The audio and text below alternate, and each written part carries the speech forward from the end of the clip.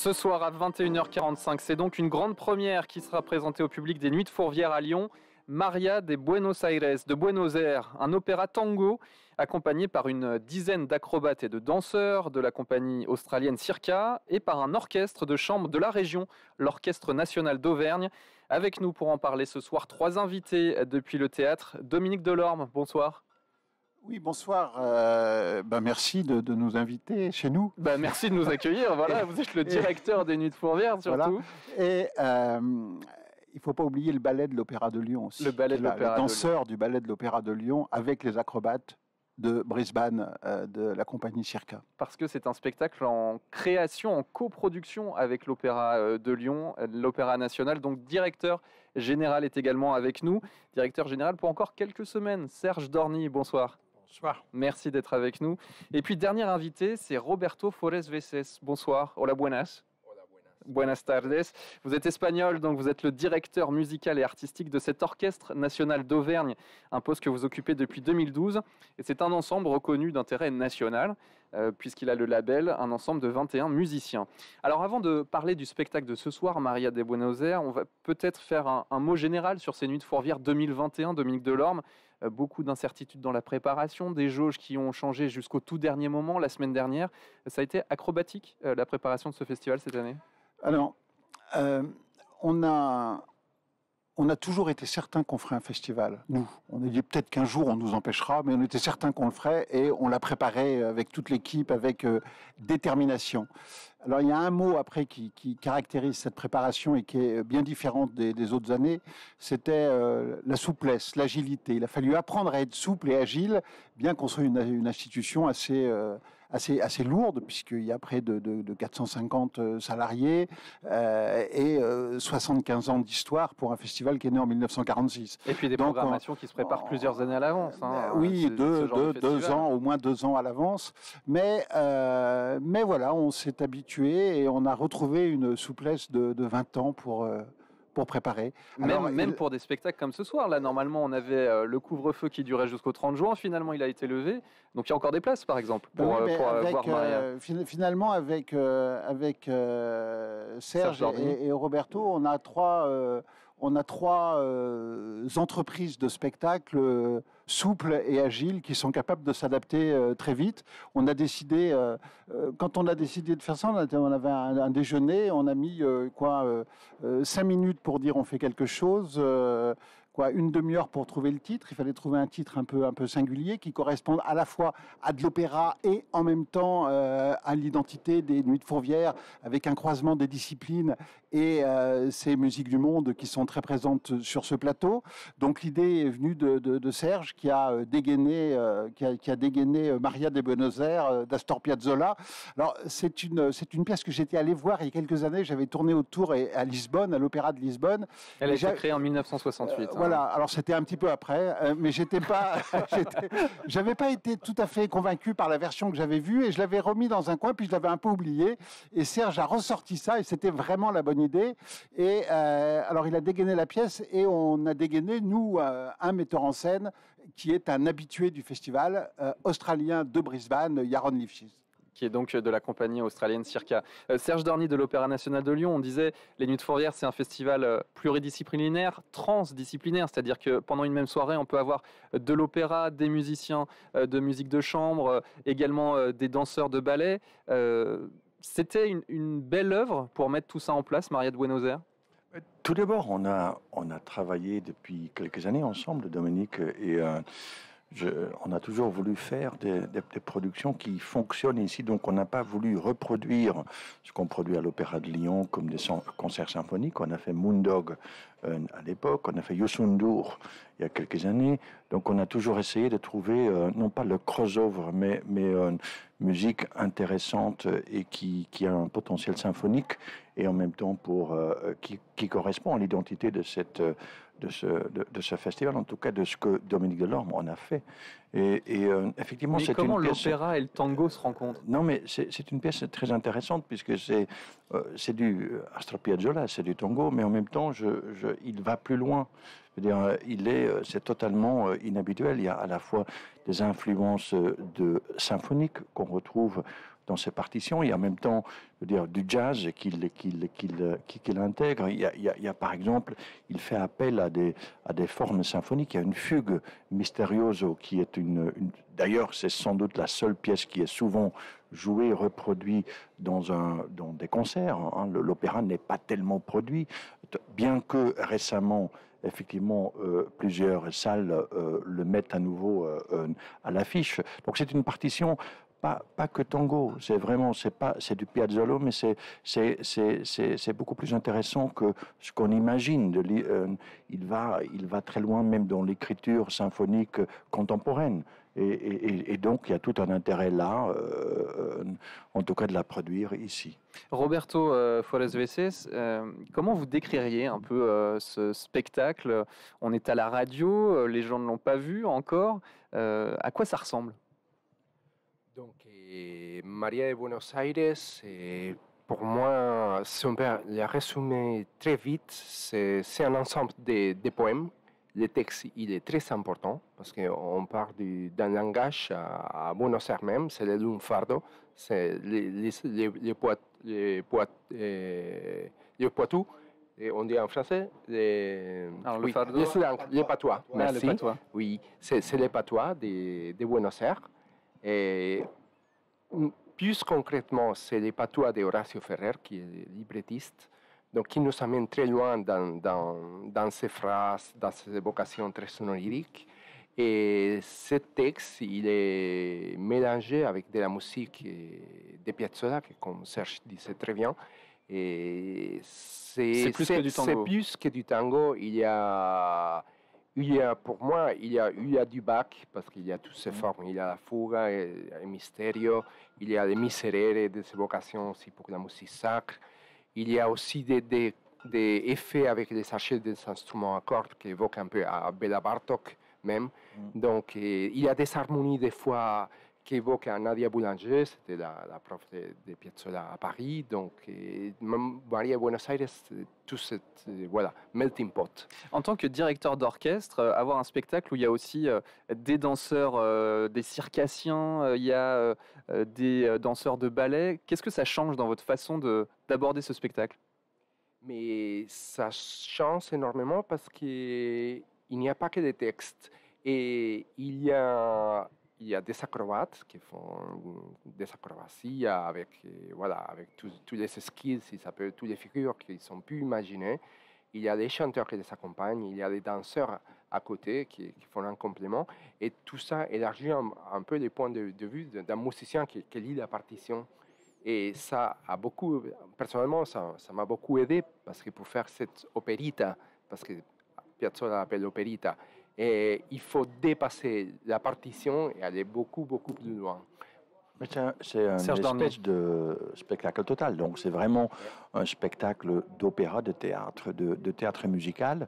Et donc effectivement, cette, même ce tango opéra, c'est très proche de, de, ce que Roberto fait quand il dirige de l'opéra, quand il dirige du Bellini. Et c'est intéressant parce qu'ici, évidemment, il doit être très attentif, par exemple, au, au tempo parce que effectivement il y a à la fois des danseurs euh, et qui qui savent faire certaines choses mais pas autre chose. Donc donc il faut il y a une il y a une il y a une complicité qui doit s'installer entre le chef qui est et ce qui se passe sur scène. Donc donc c'est euh, c'est extrêmement intéressant. Et, et, ce qui est intéressant ce que ce que Piazzolla a fait euh, évidemment, il y a l'histoire, il y a l'histoire de, évidemment sur un livret de, Ferrer qui n'était pas, qui était pas argentin, il était, était des Uruguay, hein, euh, mais donc ils, ils, habitent euh, quelque part cette, cette, cette, cette ville, ils essaient, de, reconstruire quelque part, c'est une ode quelque part à Buenos Aires, hein, cette, cette, cette, pièce. L'Uruguay qui est juste en face hein, de Buenos Aires, c'est pas très loin. Mais,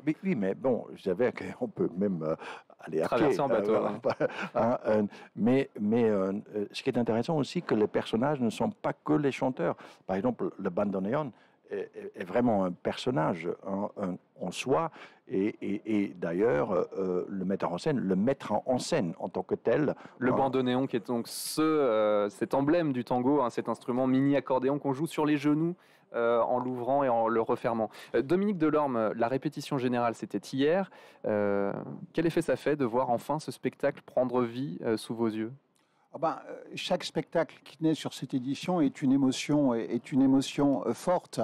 Mais j'aimerais revenir sur le, sur le, sur le, spectacle lui-même. C'est-à-dire que le, Yaron Lifshitz, quand il amène euh, ses acrobates, il n'amène pas ses acrobates qui viennent se plaquer sur l'œuvre. Il a inventé une partition avec ses acrobates. On n'a pas des, numéros. Et il réinvente une forme de tango puisqu'il il, il se il s'empare de, cette, de, de, cet art, il le transforme, il le sublime et il le sort complètement de ses clichés, mais on retrouve, on retrouve la, puissance et la relation entre, entre les couples et entre les corps euh, à, travers ces, euh, à travers ces cordes circassiens qui sont d'ailleurs mélangés aux, danseurs et on a parfois du mal à différencier les danseurs des, des circassiens.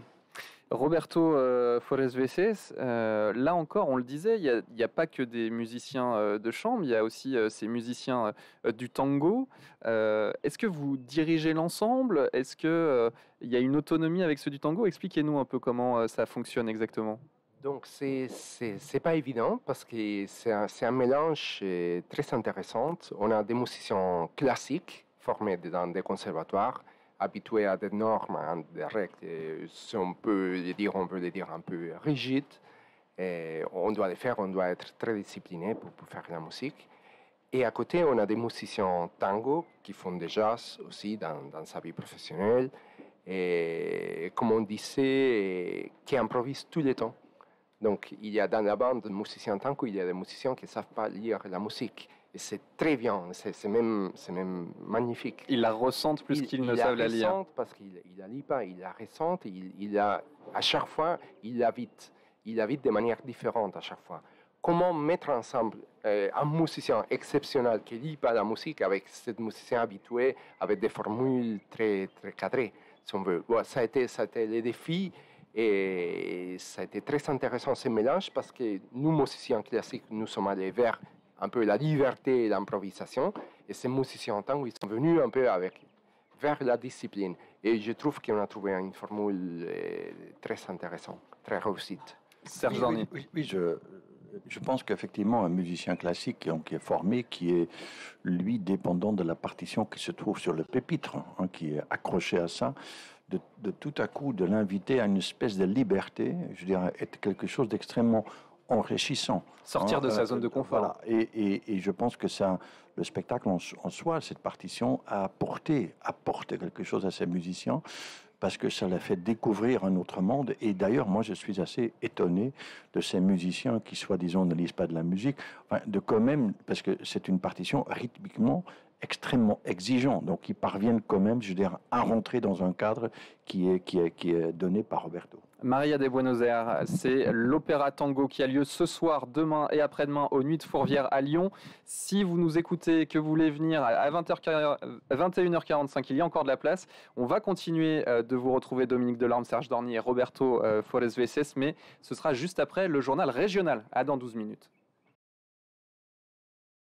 à Lyon pour vous parler du spectacle qui aura lieu ce soir demain et après-demain. Ça s'appelle Maria de Buenos Aires, un opéra tango avec euh, les danseurs du ballet de l'Opéra de Lyon, de la compagnie Circa également, et puis l'orchestre euh, national d'Auvergne, l'orchestre de chambre. Pour en parler avec nous ce soir, le directeur de cet orchestre, Roberto Forest Veces, Serge Dorny, directeur général de l'Opéra national de Lyon, et Dominique Delorme, qui est directeur des Nuits de Fourvière. Alors on va entendre dans quelques instants un bout euh, de ce spectacle pour donner euh, peut-être envie aux spectateurs d'y aller. Serge Dorny, pourquoi véritablement avoir choisi d'associer l'Opéra national de Lyon dans la production de ce spectacle?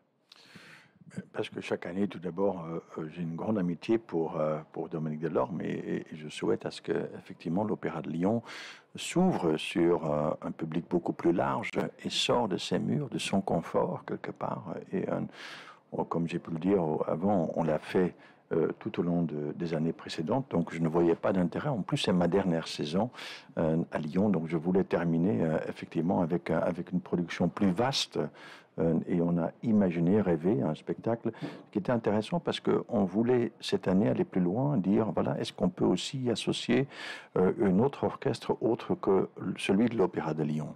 Euh, Pour une simple raison, c'est que l'Opéra de Lyon actuellement est également au Festival d'Aix-en-Provence où on prépare Falstaff qui aura sa première fin de semaine prochaine. Donc il n'y avait ni orchestre ni chœur, et donc il fallait imaginer, on voulait être présent, mais euh, différemment.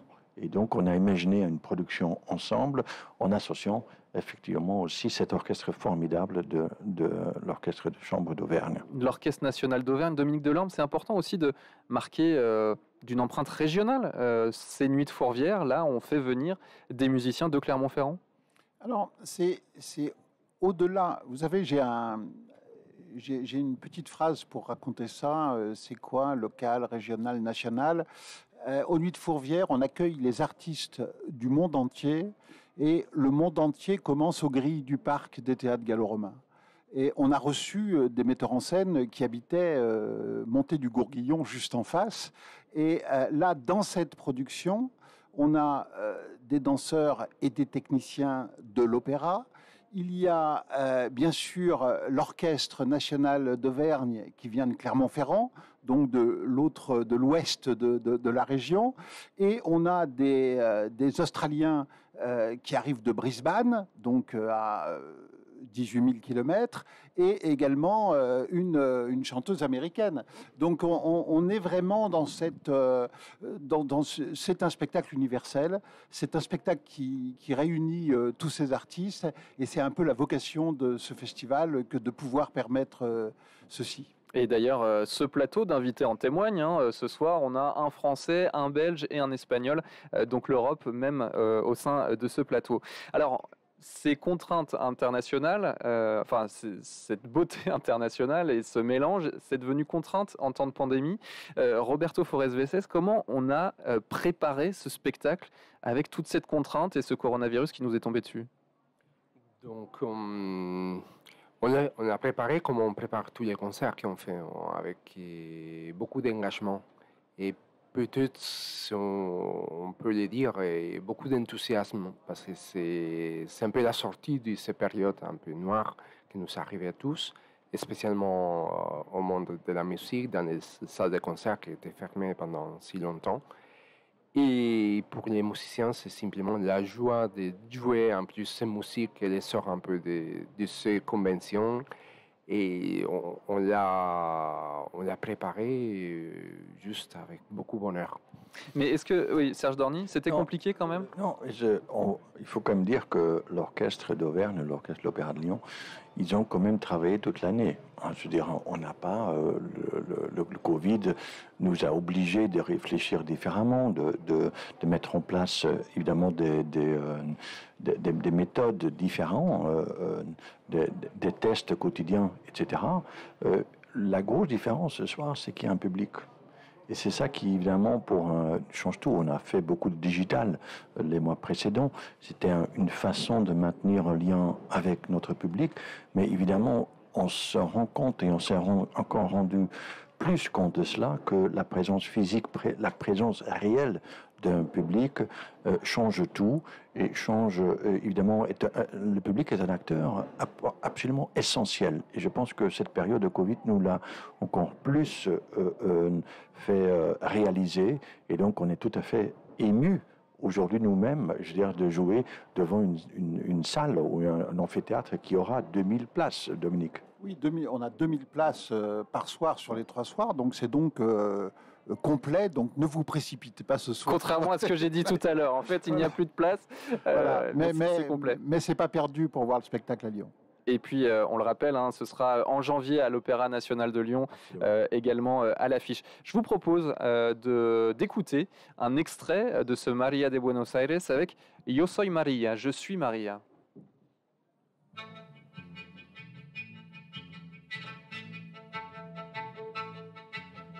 Yo soy María de Buenos Aires. De Buenos Aires, María, no ven quién soy yo. María Tango, María del Arrabal, María Noche, María Pasión Fatal, María del Amor, de Buenos Aires soy yo.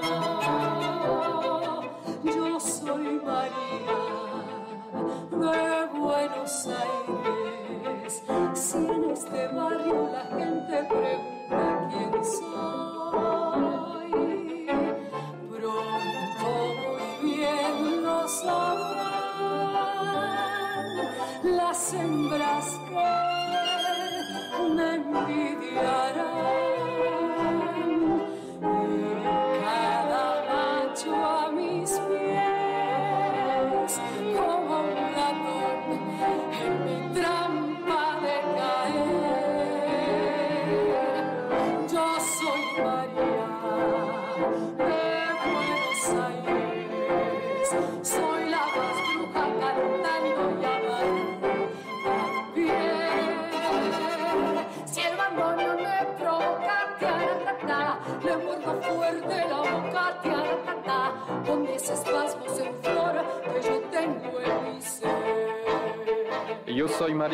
De Maria de Buenos Aires, qui est à l'affiche ce soir des Nuits de Fourvière et pour euh, les trois prochains soirs.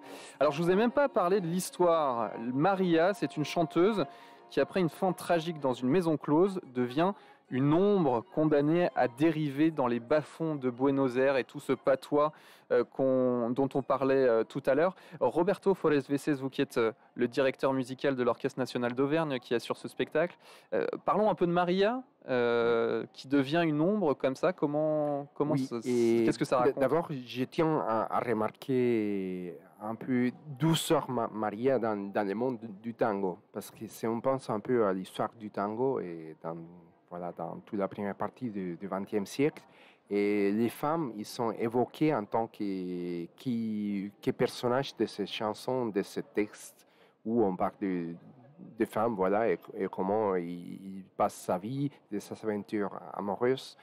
Et c'est la première fois dans l'histoire du tango qu'on donne la voix à une femme. Jusqu'à maintenant, on parlait de femmes, mais on n'a jamais donné la voix à une femme. C'est enfin Astor Piazzolla qui, et Horacio Ferrer qui dit maintenant, c'est toi qui, qui représente le tango, on te donne la voix, on, tu racontes ton histoire et tu, tu vas nous amener dans, voilà, dans cette histoire, dans cette évolution, que c'est ta vie, c'est la vie du tango, c'est la vie de Buenos Aires, c'est la vie de, de Argentine un peu. Donc ça, c'est la grosse différence pour moi dans, dans cette, cette, cette musique qu'on connaît tous, qu'on appelle tango.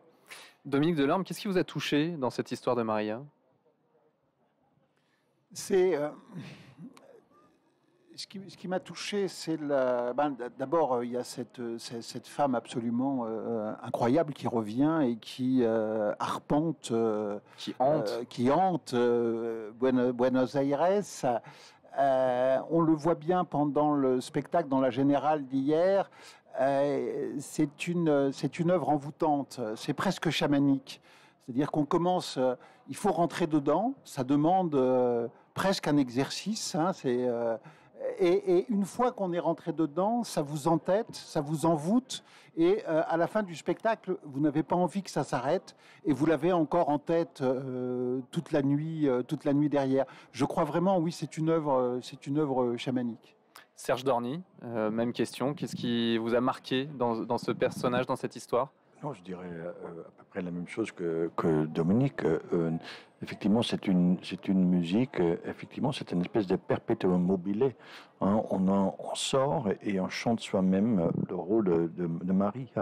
Donc, euh, et ça, ça, ça reste, ça nous habite quelque part. euh, euh, c'est un personnage assez extraordinaire parce que ça commence avec la mort de, de, de, de Maria et puis elle réapparaît. Et finalement, la fin, c'est une espèce de, de, de, naissance d'un jeune enfant, quelque part, de naissance à nouveau, de l'avenir, quelque part, de tango. Donc, c'est vraiment une, une, une, une histoire intéressante. Le texte est absolument intéressant. Il faut, cependant, c'est un texte assez complexe. hein. Il faut vraiment connaître à la fois la ville pour comprendre certaines références auxquelles Horacio Ferrer fait, référence, mais c'est quelque chose, et je pense aussi que c'est porté par euh, euh, la chanteuse, il faut quand même le dire, parce que Wallace Junta, qui est donc la mezzo qui incarne le personnage de, de, Maria, et on, sent, bien qu'elle ne vient pas de ce monde. C'est une chanteuse classique hein, qui, a chanté dans des ensembles d'opéra. Là, elle, elle, elle comment elle porte cela, porte cela vocalement, mais aussi physiquement. Je dirais, elle va, elle va vraiment fusionner avec euh, euh, le groupe euh, de Circa. Hein, je dirais, elle, va le rejoindre, elle va habiter aussi physiquement et corporellement ce même univers. Merci beaucoup à tous les trois d'avoir été euh, en plateau depuis les Nuits de Fourvière. On est juste derrière la scène. À partir de 21h45, ce sera donc juste à côté de nous ce Maria de Buenos Aires, une première en coproduction avec l'Opéra National de Lyon et les Nuits de Fourvière. Merci à vous, Dominique Delorme, de nous avoir accueillis euh, dans ce festival aux Nuits. À Serge Dorny également, directeur général de l'Opéra National de Lyon, avant de partir pour Munich, hein, ce sera à partir de septembre. Et puis Roberto Flores Veces, le directeur de cet orchestre national d'Auvergne. Merci, à tous les trois d'avoir été avec nous. Merci. 18-19, le feuilleton de la semaine.